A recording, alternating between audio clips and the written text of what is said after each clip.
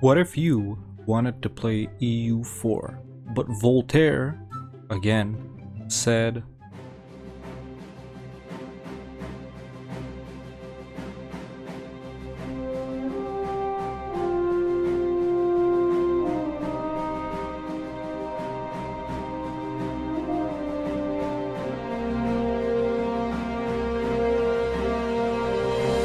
Hi everyone, and welcome to today's video where we're going to be checking out Voltaire's Nightmare 2, a mod for EU4. Before we begin, consider leaving a like and subscribing if you enjoyed this video. Only 10% of you are subscribed, so it would really mean a lot. Let's get started. Now, last week I covered a mod called Voltaire's New Nightmare, and that was a mod which had the most accurate depiction of the HRE in EU4 so far with 600 plus nations in and around the HRE. So not only did it have the HRE, but it also had all of North Italy along with the Pope, Venice, and all the nations that aren't in the HRE in 1444. Now in this mod, the HRE isn't as detailed. Of course, as you can see, it's still very, very detailed, but it doesn't compare to Voltaire's New Nightmare, which had thousands and thousands of provinces, exclaves, enclaves. But what this mod does have is all of Europe well almost all of Europe and more. So as we can see it's not just the HRE, we have almost everything apart from northern Scandinavia, but we also have the North African Maghrebi nations, as well as the Mamluks. We have the Ottomans right here in Anatolia, the Hordes over here, the Russian nations, some nations over here. And this mod doesn't add details and realism just to the HRE region,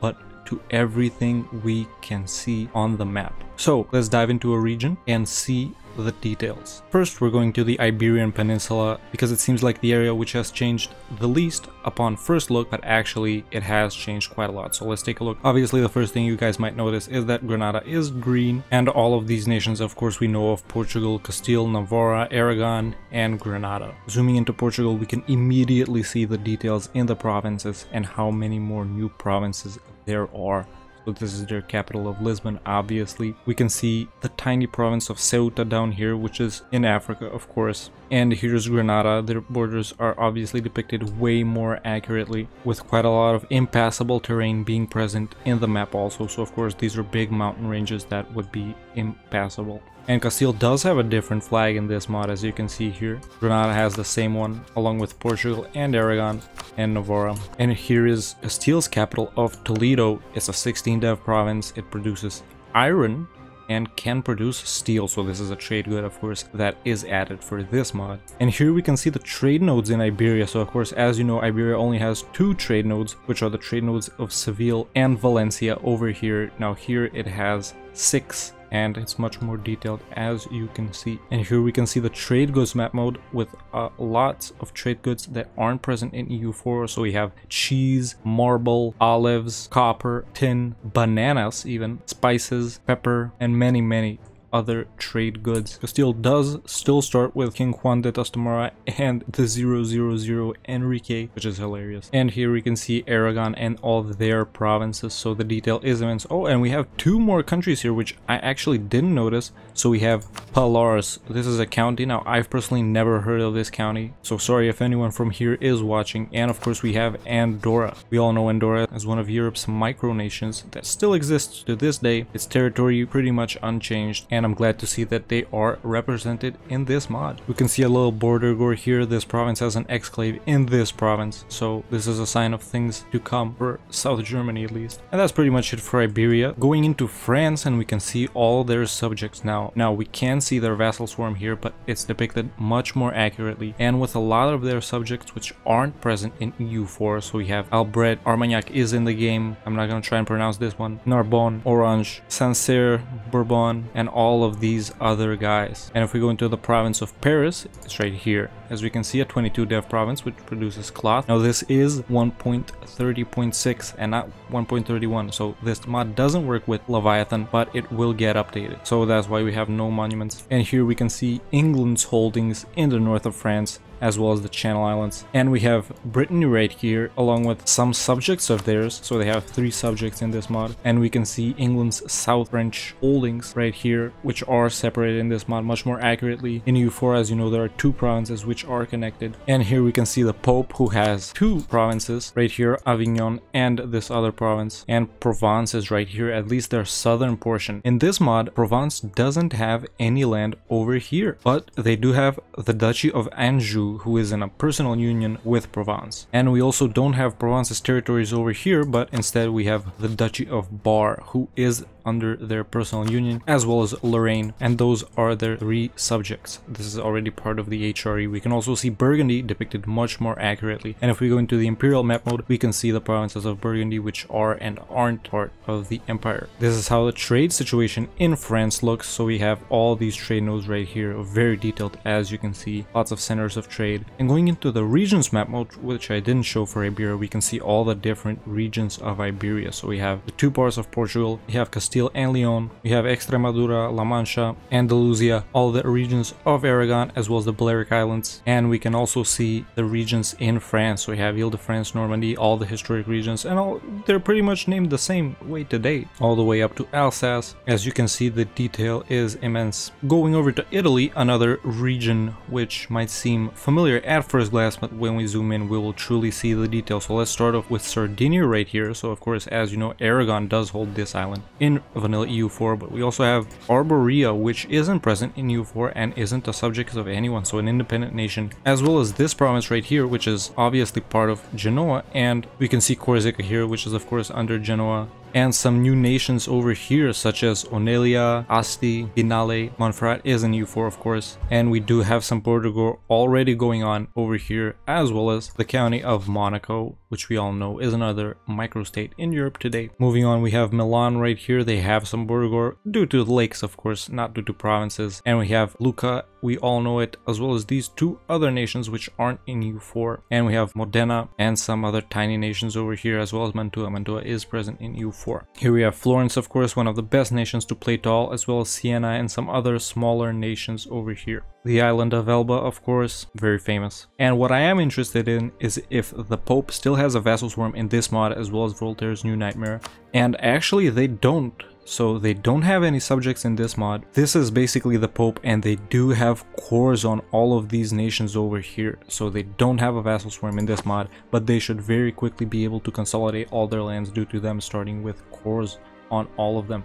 Naples pretty much unchanged except this province of Benevento I think it's called, which is a part of the papacy. Now this province isn't new for the devs have said because it would be very weird to give the Pope an exclave in Naples and it would lead to some bad things happening, pretty much. And of course we have Sicily, we have Malta right here, all of these tiny islands, which are a part of Aragon as well as this island right here. So maybe if this province was present in vanilla EU4 it would make invasions into Tunis much more easy. And this is the regions map mode of Italy as we can see we have a Apulia. We have Trinakria right here, which I thought would be named Sicily to be honest, and the rest of them we know. Venice is an endnode in this mod, but Interestingly, Genoa isn't an endnode, so Genoa can flow into Florence and then further into Venice. Going over into the HRE, and of course, I will not cover this region too much because we covered it in Voltaire's New Nightmare, but we can already see the border gore and I'm already starting to regret once again reviewing such a cursed, but at the same time blessed mod. So we can see all these nations over here, not as accurately depicted as in Voltaire's New Nightmare, but definitely still very accurate. As we can see, we have all the Bavarian nations right here, of course you know them, Landshut, Munich, and in the Imperial map mode we can see all the electors as well as Styria. Styria is once again the Emperor in this version, and all the free cities down here in southern Germany. If we go into the HRE interface we can see the Emperor, the electors of course, the 68 free cities, and 274 princes, so definitely a lot more than vanilla EU4. The Swiss Confederation doesn't seem to be present in this mod, so basically in Voltaire's New Nightmare there was a sort of a celestial empire system where one of these Swiss nations was sort of the emperor with all the other ones being its tributaries. This isn't present in this mod. Maybe it will be added in the future, who knows.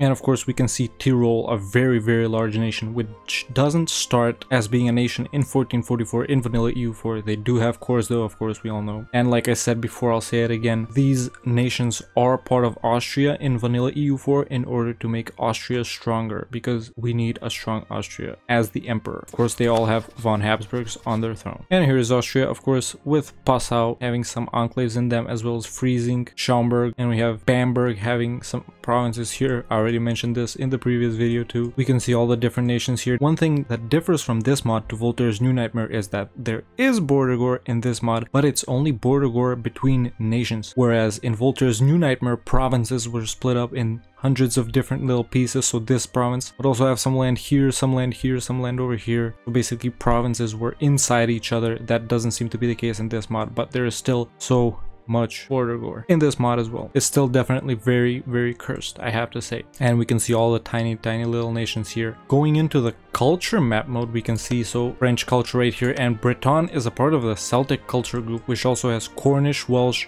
Manx, you know, Highlander and Irish in it as well, which is very nice to see. And we can see all the different German cultures in this mod as well. And the Dutch have their own culture group once again. And there is another culture group which wasn't present in the previous mod. So this was part of the Italian culture, but I guess not in here. So we got Romansh, Ladin, and Friulian, which is their own culture group in this mod. Very interesting. Going over to North Germany and we don't have that much border gore. Well, that's a lie. We can see Saxony right here and tons of tiny nations in and around Saxony. If you go into the trade map mode, we can see all the Hanseatic cities, which I already talked about. So these are cities with very high trade power in this mod. Of course, they did exist historically. Moving further to the west, we can see some of the electors here. We got Cologne, Cleves isn't an elector, but they are in EU4, and tons and tons of nations which increase the realism which can, of course, be present in EU4 vanilla, at least not all of them.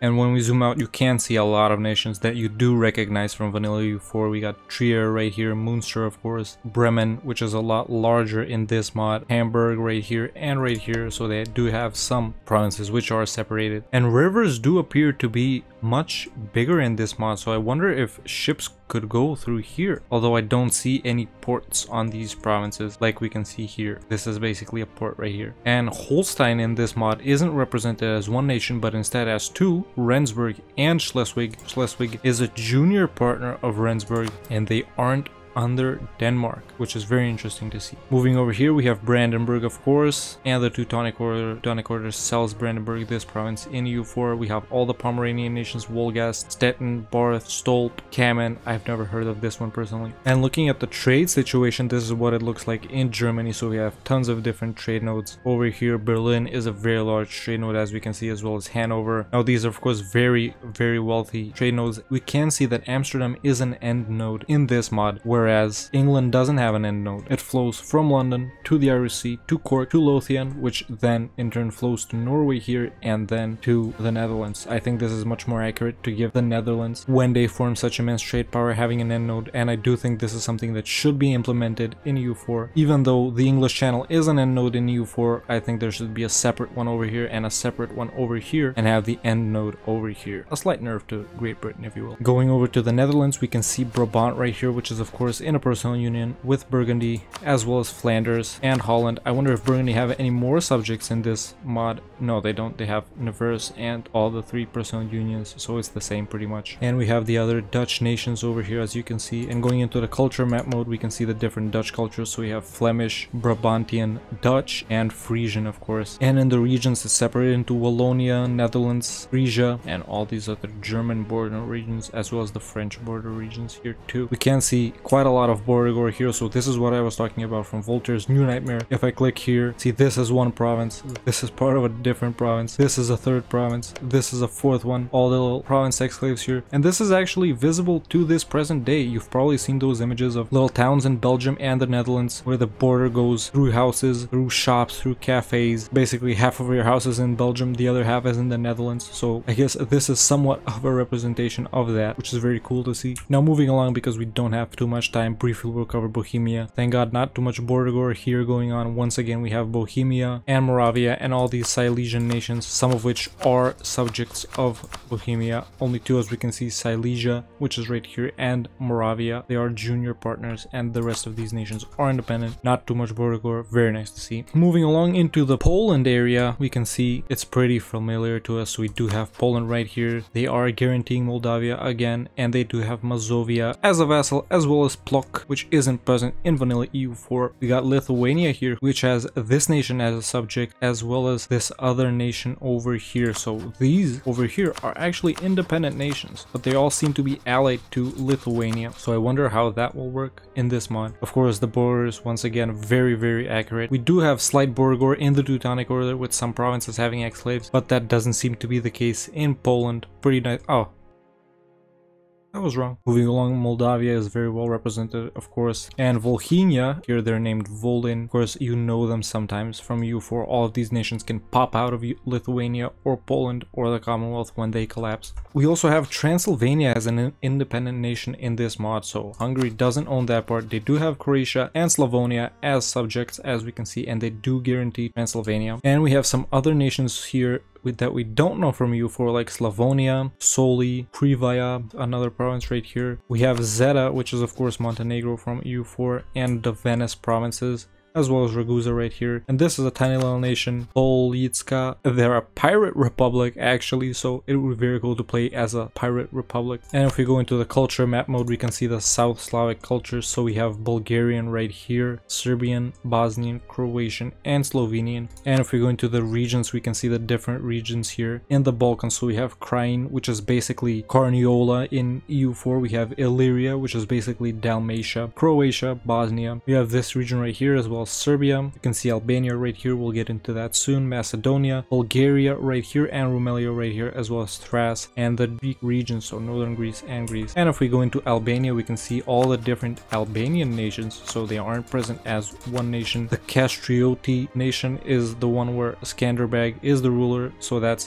this nation. And they have this other nation as well as this one right here and this one right here. We have another nation here which isn't present in EU4, Lovech. This seems to be a Bulgarian nation of sorts, which the Ottomans haven't conquered yet. Speaking of the Ottomans, these are their Balkan holdings. As we can see, Byzantium is slightly larger over here, as well as them having some islands over here, but Morea is independent in this mod, so Athens are a vassal of Morea, whereas Epirus is a junior partner of Cephalonia, so Byzantium doesn't have any subjects and they're allied with Morea. I think think they're even weaker in this mod, to be honest. And if we zoom in, we can see the detail on all these nations here. We have the province of Edirne, of course the capital of the Ottomans. And we can see, for example, these two provinces in Vanilla EU4 are more than a dozen provinces in this mod. And going into the trade map mode, we can see all the different trade nodes over here in the Balkans. And we can see the tiny province of Constantinople, so it's named Constantinopolis in this mod right here. Capital of Byzantium, of course, 34 dev in 1444. And they have a level 4 fort. By the way, this mod does start in the year 1050 something, so that's why they're Miltech 48 or something. I just opened the 1444 start date because it's the most familiar. Moving on quickly because we don't have too much time, we can see all the detail here in the Carpathian nations with lots and lots of nations that aren't present in EU4. So we can't even see Georgia right here. We do have Shirvan, Circassia. Some of these nations we know, some of them we don't. Looking into the culture map mode, we have lots of different culture groups. So we have the Armenian culture, Georgian, Azari, and some of these North Caucasian cultures. And if we go into here and we look at these Levant nations, and we go into the simple terrain map mode, we can actually see the extent of the provinces which only hug the rivers and the rest of it is wasteland, very accurately depicted now. If you start as this nation right here, so the nation of Anisa, which is also present in Vanilla EU4, I don't know what it would actually do. There's no provinces around it. Do they have any more provinces? No. So what do you do if you start as this nation? It's the same situation over here in Egypt with provinces only being along the Nile River. Very accurately depicted to be honest. And more of these, we can see even more of these nations that aren't connected to anything else, even in North Africa over here. Speaking of North Africa, here we can see some other nations along, the, of course, they're hugging the coast and some nations that we already know, like Tuggurt, Jirid, Mazab, as well as Tunis right here. Tlemcen is a lot smaller, and we have Morocco, who have three subjects, so Sus, Marrakesh, and Dra, as well as some other independent nations over here. And here we can see the culture map mode, so we have all the different cultures. Back to Anatolia, we have the Turkish Beyliks, most of them are familiar to us. Genoa does have a province here, which I didn't know about to be honest. And we have another little Turkish Beylik here, Alanya right here. You have Cyprus, the Knights, Genoa, Lesbos seems to be an independent nation or maybe they're actually a vassal of Genoa, and another lordship over here who is a subject of Genoa. Even the Timurids are present in this mod, although they're named Gurkanian. I don't even know if they're the Timurids, maybe it's a different nation, please correct me if I'm wrong. And we can see the hordes too. Now going into the simple terrain map mode, we can see this represented as impassable terrain, basically wastelands once again. So Nogai would be much, much weaker than all the other nations. We can see the Great Horde and Kazan, of course we know. These are of course some sort of other tribal nations, well at least these these. And we have Perm right here, which isn't connected to anything.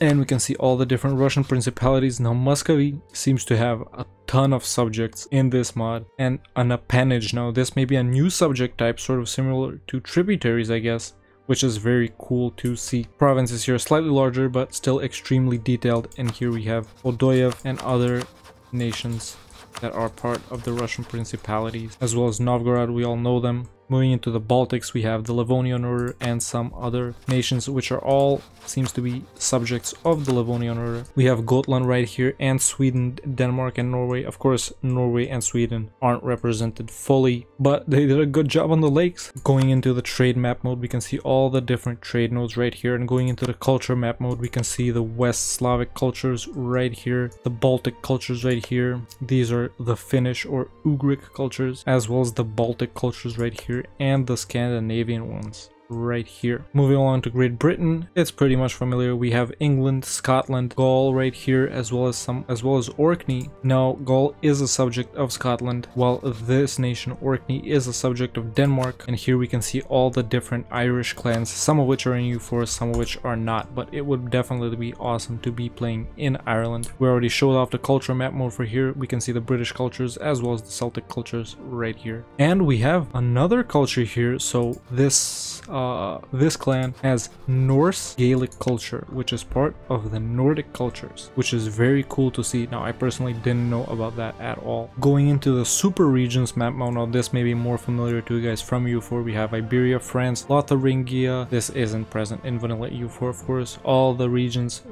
Actually, we're in the super regions map mode, so this might all seem familiar to you guys. And going into the regions, which uh, we have already seen, this is basically like areas from Vanilla EU4. And then if we go into areas, we have even more detail. This is the full zoomed out version of the trade nodes map mode as we can see a ton, a ton, a ton of trade nodes. And this is the culture map mode. We can see the French, Celtic, British, Iberian, Italian, South Slavic, West Slavic, East Slavic cultures, Romanian as a separate culture group, as well as Hungarian, Turkish, all the Arab cultures, as well as some other cultures right here and right here. Going into the fort map mode, we can see how crazy the HRE and Ireland actually are. So almost every province in Ireland has a fort. Going into the development map mode, and from this zoomed out view, we can see that North Italy, of course, has a high concentration of developed provinces, as well as the Netherlands right here, and some other provinces scattered here and there. So this mod actually covers history from 1054 to 1871, so it's a much larger timeline than Vanilla EU4. It adds hundreds of new countries, thousands of new provinces, 300, more than 300 unique national idea sets, 75 unique mission trees, and a lots of generic missions, tons and tons of historical flavor events, new cultures, new religions. Speaking of religions, we have Catholic right here, Hussite, Sunni right here, Orthodox, we have Bogomilist religion, which is present in Bosnia, as well well as some other religions which I personally haven't heard of like Kabze. Um, I'm not gonna try and pronounce that. New cultures, more government types, ages, institutions, tech, the Grand Principality of the Rus which works similarly to the Celestial Empire which is for the Russian nations right here and tons of new disasters, buildings, ideas, decisions, trade goods and much more. So huge shout out to the devs, these are their names as you can see on this picture so huge shout out to them. You can definitely check out this mod for yourself so you have something to do while you wait for Leviathan to be fixed in the next week or 2, so I'll definitely have a link to this mod down below in the description. And that's pretty much all I can cover for this video without getting into too much detail. Of course, this video would be like 3 or 4 hours long if I went into everything that this mod has to offer in detail. So if you want to check it out for yourself, please go ahead and do huge shout out to these devs. Even though the title and the thumbnail said this mod needs to be stopped, of course, that's just because it's cursed, but it's also very, very much blessed. And that's pretty much it for this mod showcase. If you enjoyed this video, don't hesitate to leave a like and subscribe. Only 10% of you are subscribed, so it will really mean a lot. And I've also launched channel memberships, so you can check out the join button down below if you want to support the channel with more than just subscribing. And join the Discord to chat with me, give me suggestions on videos, and much more. I'll leave the link in the description. Thank you so much for watching, and I'll see you next time with another EU4 video.